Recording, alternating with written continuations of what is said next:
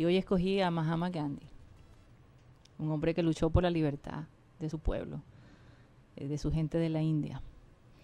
Y la frase dice así, la causa de la libertad se convierte en una burla si el precio a pagar es la destrucción de quienes deberían disfrutarla.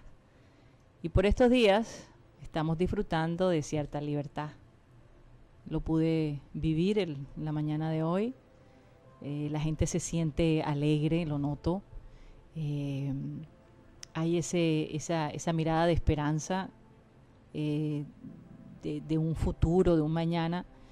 y yo creo que si queremos formar parte de eso, hay que cuidarla, que no se nos olvide que una vez la perdimos por porque de pronto no manejamos las cosas bien o no lo sabíamos manejar. Y nos han dado un voto de fe, literalmente. Y yo creo que hay que conservar la libertad. Hay que trabajar por ello y hacer lo que nos toca a nosotros hacer y poner de nuestra parte.